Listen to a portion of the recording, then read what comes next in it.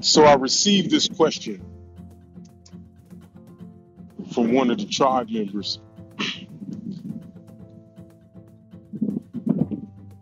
who actually knows me in real life. And I thank you for submitting this question. And I'm going to do the best to answer it to the best of my ability.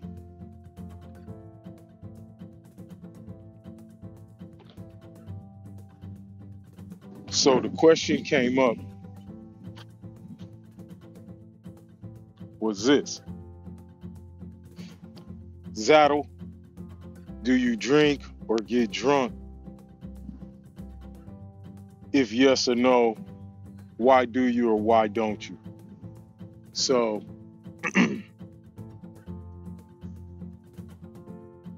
here's my answer to that question. Everything is good. I mean,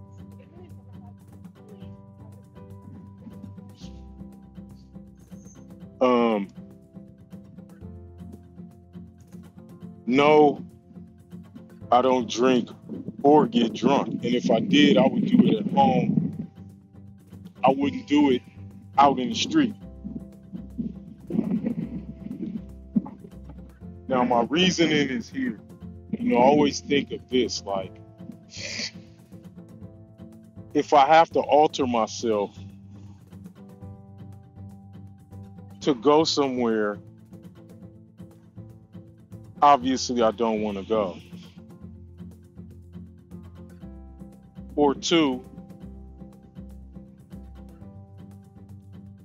they're going to do something that I really don't want to do.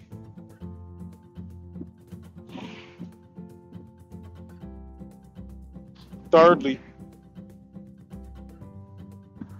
they're going to do these things with people who I don't associate with or who I don't want to be around.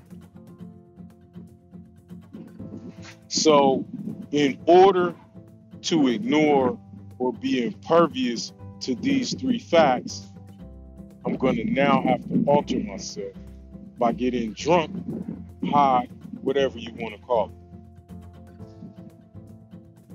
And so, to me, I would just stay home before I would go out and spend my hard earned dozens of dollars to alter myself with liquor in order to go somewhere that I don't want to be at and do something that I don't want to do with some people that I don't want to be with. I don't see the sense in that. So, those are my reasons right there. That's the answer to your question. To all the tribe members, I'd like to say thank you for becoming a member of the tribe. Thank you for your support. Please feel free to DM me or reach out to me with any type of questions or concerns or matters that you would like to like me to cover in the scope of my content. Thanks for watching. Conceive that, believe that, and you can achieve that.